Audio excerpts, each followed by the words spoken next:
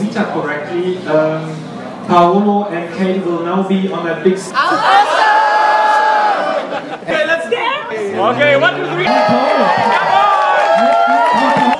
And with K- oh, Katie, picture with astronauts, and there's some more astronauts coming.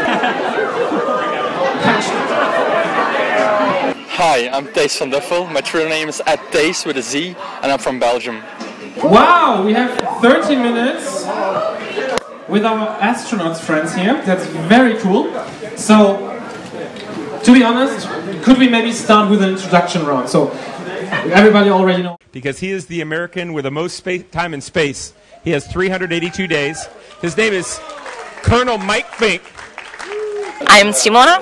My Twitter handle, handle is uh, Naima, and I came from Italy.